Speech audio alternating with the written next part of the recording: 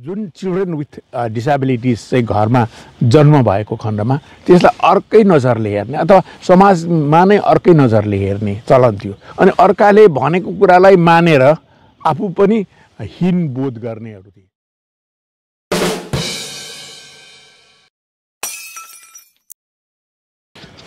Hello good morning तपाईँहरू सबैजनालाई happy Sunday सबैजना खुसी हुनुहुन्छ होला आनन्दमा हुनुहुन्छ होला रमाइलोमा हुनुहुन्छ होला सुस्वस्थमा हुनुहुन्छ होला भन्ने आशा राखेँ र म आफै पनि सुस्वस्थमा छु।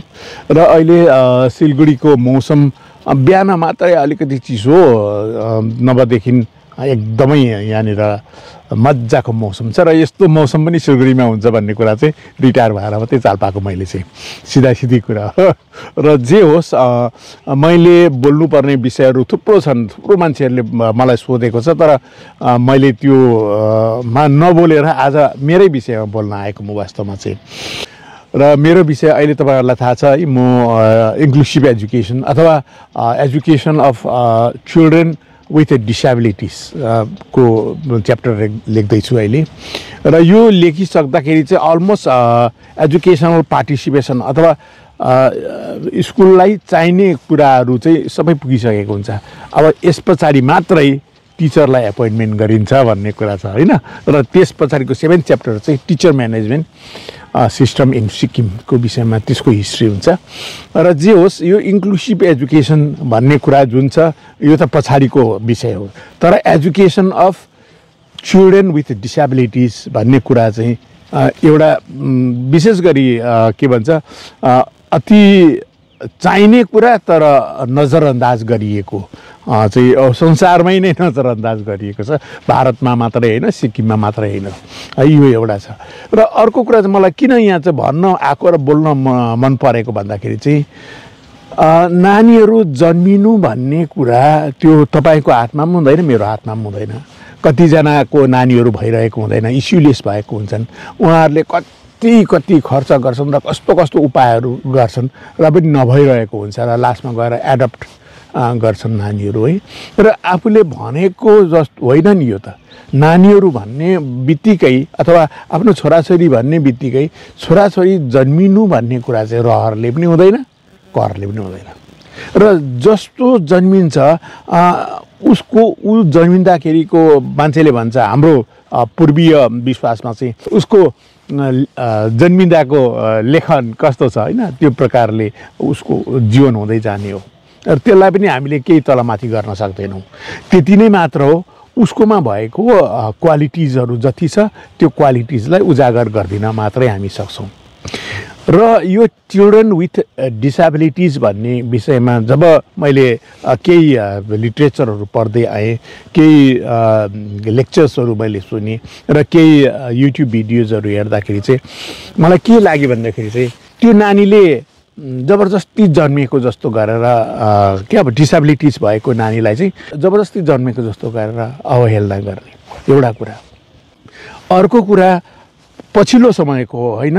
अघिल्लो समय पहिलाको समयमा चाहिँ आमा बाबाहरूले जुन चिल्ड्रेन विथ डिसेबिलिटिज चाहिँ घरमा जन्म भएको खण्डमा त्यसलाई अर्कै नजरले हेर्ने अथवा समाजमा नै अर्कै नजरले हेर्ने चलन थियो। अनि अर्काले भनेको कुरालाई मानेर आफू पनि हिन बोध गर्नेहरू थिए। जस्तो प्रकारले उहिले पूर्व जन्ममा भक्कु पाप गरेको थियो होला पूर्व जन्ममा यस्तो गरेको थियो होला त्यस्तो छोराछोरी जन्मियो।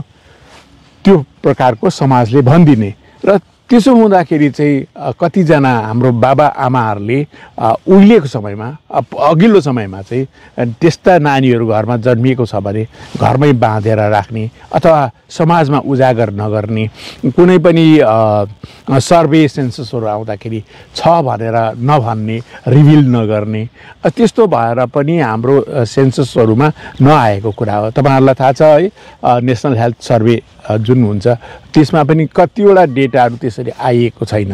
र विशेष गरी सिक्किमको सन्दर्भमा चाहिँ के भएको छ भन्दाखेरि मैले अहिले बुझ्दाखेरि र म आजको यो एजमा आउँदाखेरि के लाग्यो भन्दाखेरि चाहिँ जसको नानीहरू उहिलेको समयमा मभन्दा एजेड मान्छेहरूको समयमा उसको नानीहरू त्यस्तो जन्मिँदाखेरि उनले हेला गरेर उसलाई लाज लाग्यो क्या लाज लाग्यो उसको नानी यस्तो छ भनेर भन्दा बाउ आमालाई नै लाज लाग्यो।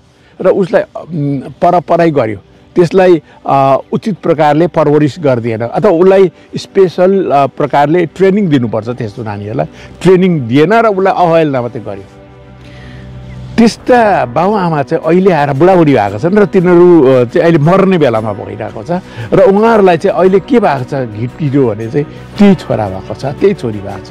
जो चाहिँ डिसेबल अथवा डिफ्रेन्टली एबल छन्। र अब त्यसलाई कसले हेरिदिन्छ होला? आफू मरिगएपछि त्यसको के हुन्छ होला भन्ने भइरहेको छ उनीहरूलाई। र उहाँहरूलाई पहिला के हो जतिखेर उनीहरू र त्यो नानी सानो थियो जतिखेर त्यसलाई उचित ट्रेनिङ दिन सकिन्थ्यो प्रशिक्षण दिन सकिन्थ्यो त्यो समयमा म बुढो हुन्छु र एक दिन म मर्ने बेलामा यो यो नानी मेरो निम्ति बोझ हुन्छ र भन्ने कुरा त्यतिखेर नै सोच्नु पर्थ्यो र सोचेनन्। र समाजले नराम्रो भन्छ भन्दैमा उयो गर्ने। समाजले त जे पनि भन्न सक्छ नि त। र तपाईँको विवेकले उचित लागेको कुरालाई नै तपाईँले सोच्नुपर्ने हो। र अहिलेको समयमा आएर सिक्किमको सन्दर्भमा भन्नु पनि एउटा गर्वको कुरा पनि लाग्छ। मलाई स्पेस्टिक सोसाइटी अफ सिक्किमको जुन छ जुन सालाबानका स्टेटमेन्ट भन्छ त्यो आउनुभन्दा अगाडि नै सिक्किममा स्पेस्टिक सोसाइटीले है के अरे नानीहरूको लागि ट्रेनिङहरू दिने त्यस्तो सुरु गरिसकेको थियो। शिक्षा दिनु भन्छ यसलाई हामी। र इन्क्लुसिभ एजुकेसन जुन हामी भन्छौँ एडुकेबल डिफ्रेन्टली एबल्ड चाइल्डलाई स्कुलमा ल्याएर हामी अरू नानीहरूसँग राखेर नै समानान्तर प्रकारले अथवा समग्रमा उहाँलाई हामी शिक्षा दिने गर्छौँ। किनभने भोलि बाँच्नुपर्ने समाज त त्यही हो नि त। अहिले उसलाई स्पेसल स्कुल राखौँला तर पछि आएर उसले वास्तविक संसारमा आउँदाखेरि ऊ हिन्ता बोधले मर्छ भनेर चाहिँ अहिले यो जुन इन्क्लुसिभ एजुकेसनको कन्सेप्ट आएको तर यो इन्क्लुसिभ एजुकेसनको कन्सेप्ट आउनुभन्दा अगाडि नै मान्छेहरूले सोच्नुपर्ने चाहिँ कुरा के छ भन्दाखेरि चाहिँ नानीहरू भन्ने कुरा चाहिँ तपाईँले सोचे जस्तो पनि जन्मिँदैन अनि तपाईँले सोचे जस्तो पनि हुँदैन। त्यो जे जन्मिन्छ जन्मिन्छ अनि जे हुन्छ हुन्छ। त्यति नै हो तपाईँको परवरिश राम्रो हुनुपर्छ र तपाईँले कतिको उसलाई कस्तो प्रकारले परवरिश दिनुहुन्छ त्यो माथि निर्भर गर्छ।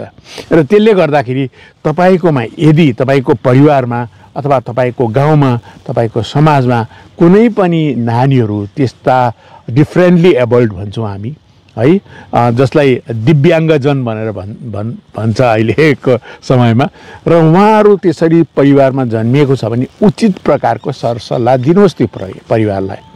थुक्नु नराम्रो भन्नु उसले के अरे पूर्वजन्ममा पाप गरेको थियो र यस्तो फल पाए भन्नुभन्दा उचित सल्लाह दिनुहोस्। उचित प्रकारले त्यो नानीहरूलाई पनि तपाईँहरूले भेट्दाखेरि पनि इन्टरेक्ट गरिदिनुहोस् त्यो नानीहरूसँग। त्यसो गर्नु भयो भनेदेखि चाहिँ तपाईँको परिवारमा पनि अहिले जन्मिएको छैन नि त त्यस्तो। तर तपाईँको छोराको परिवारमा जन्मिन सक्छ तपाईँको छोरीको परिवारमा जन्मिन सक्छ अथवा तपाईँको नाता नातिनाको परिवारमा त्यस्ता नानीहरू त्यस्ता दिव्याङ्ग नानीहरू जन्मिन सक्छन्। र आज तपाईँकोमा छैन भन्दैमा अर्कालाई नराम्रो भन्नु होइन। र एउटा कुरा तपाईँहरूले एउटा याद गरिदिनु पर्ने कुरा के हुन्छ भनेदेखि चाहिँ अब मान्छेले सोच परिवर्तन गर्नुपर्छ र त्यस्ता नानीहरू गाउँघरमा छ भने अथवा आमा बाबुले पनि सोच परिवर्तन गर्नुपर्छ। तपाईँको घरमा त्यस्तो प्रकारको नानी यदि जन्म भइगएको खण्डमा पनि तपाईँहरूले लुकाउने काम होइन त्यसलाई अवहेलना गर्ने काम होइन त्यसलाई उचित शिक्षा दिनुपर्छ। जसलाई हामी सानोमा भन्छौँ ट्रेनिङ जस्तो प्रकारले सानो नानी नर्मल चाइल्डलाई पनि ट्रेनिङै दिन्छ त्यस्तै ट्रेनिङ हो। जसरी आमाले आमा भन् बाबा भन् अथवा ताते हेनतेन भनेर भन्छ भनिन्छ नि त्यो सबै ट्रेनिङ हो। र त्यस्तै ट्रेनिङ त्यो के अरे दिव्याङ्ग नानीलाई पनि दिनुपर्छ र त्यसको ट्रेनिङ दिने तरिका अलिकति इन्टेन्स टाइपको हुन्छ त्यति मात्रै हो। र म आज तपाईँहरूको समक्षमा भन्न आएको कुरा चाहिँ त्यही नै हो कि तपाईँको रोजाइमा छोराछोरी जन्मिँदैन। तपाईँको रोजाइमा छोराछोरी हुर्किँदैनन्। त्यति नै हो तपाईँको उचित परवरिश हुनुपर्छ र तपाईँले विवेकशील भएर काम लिनुपर्छ त्यति नै हो। र यही भन्न चाहन्छु र फेरि पनि म तपाईँहरूलाई भन्छु तपाईँहरूको छरछिमेकमा तपाईँहरूको गाउँमा तपाईँहरूको समाजमा यदि त्यस्ता दिव्याङ्ग नानीहरू जन्मेका छन् भने त्यो परिवारलाई हिनाम गर्नु नराम्रो भन्नु चाहिँ तपाईँको परिवारमा पनि एक दिन त्यस्तो जन्मिएको खण्डमा त्यसै भन्ने समाज तयारी गरेको भनेर सोच्नु होला। म यति भन्दै आजको लागि यो भिडियो शेष गर्न चाहन्छु। ह्याप्पी सन्डे फेरि पनि। By by